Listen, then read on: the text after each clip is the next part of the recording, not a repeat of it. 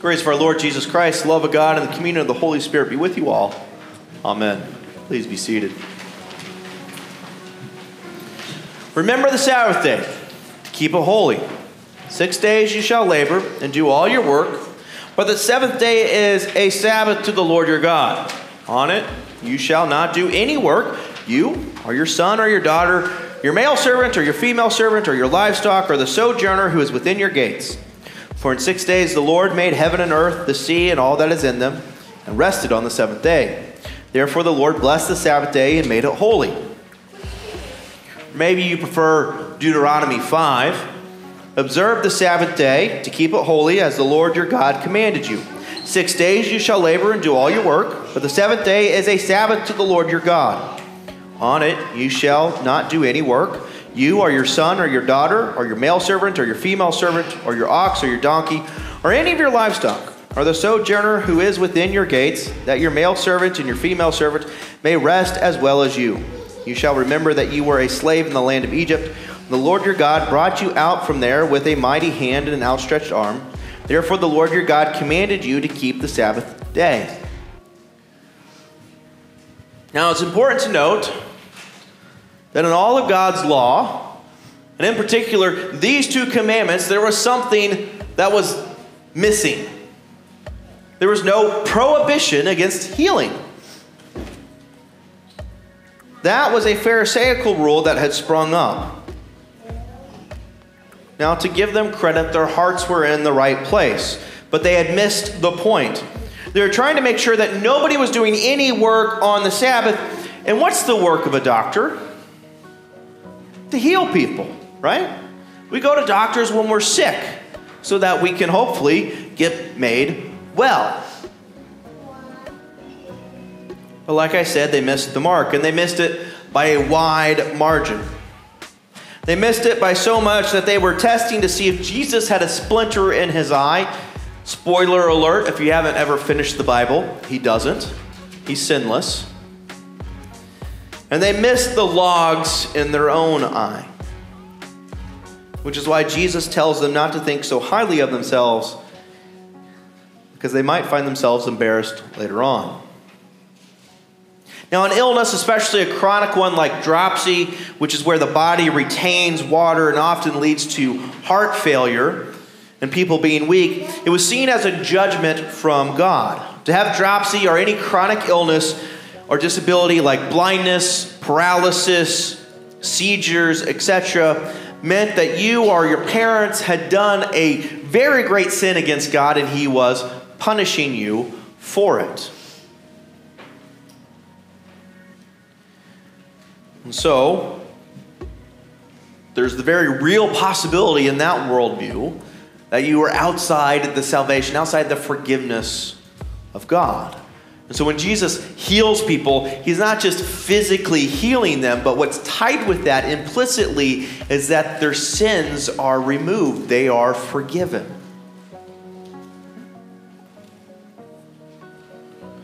Now, what was the purpose of the Sabbath?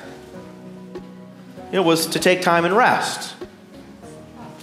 Both tellings of it, Exodus 20, Deuteronomy 5, it was to rest, to reflect on what the Lord had done. For the, because the Sabbath was made for man, not man for the Sabbath. And what were you supposed to do when you rested? To respond to the goodness of God, to go to temple or go to synagogue, to worship, to offer sacrifices, and most importantly, to receive the forgiveness of sins. To have that, to be reminded that that which separates you from God has been removed from you. And now Jesus is Lord of the Sabbath.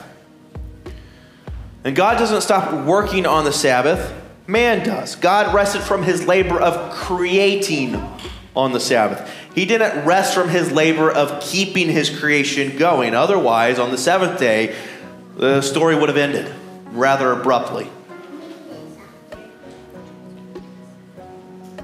And so this man is, was coming to God, this man with dropsy, he was coming in need. And yes, he had a physical need, but but also in the minds of everybody there, he had a very real and present spiritual need. He needed to have his sins forgiven, and he was going to the one that would address both. Now, what the Pharisees didn't realize is that they were just as much in need as that man was. We are just in much of need as that man was. For there is no goodness in us. How many times do we have to see our heroes put up on pillars just to fall down before we stop putting our trust in man? How many times must we fail before we are fully disabused of trusting ourselves, trusting in ourselves? We have no hope outside of Christ. And if Christ took a day off, well, there's a certain phrase that comes to mind. I can't say it from the pulpit, but involves a certain creek and a missing paddle. Is it lawful to heal on the Sabbath? Absolutely, of course it was, and it is. Because that is when God heals. That's when God heals us the most. The gathering of the saints around the Word of God, the washing of the water, the eating and drinking of the bread and the cup, the proclamation of the forgiveness of sins. We are the son and the ox that have fallen into the well and are desperate need of rescue. Just as much as those Pharisees were, so are we. And Jesus doesn't wait for tomorrow. He doesn't wait for a more convenient time. He doesn't tell us to call back next week and he'll see if he can fit us in on Thursday. No, Jesus comes to us today with healing. Our sins are forgiven today. We are given life to the full, that is eternal life, today. We are remade and reborn today.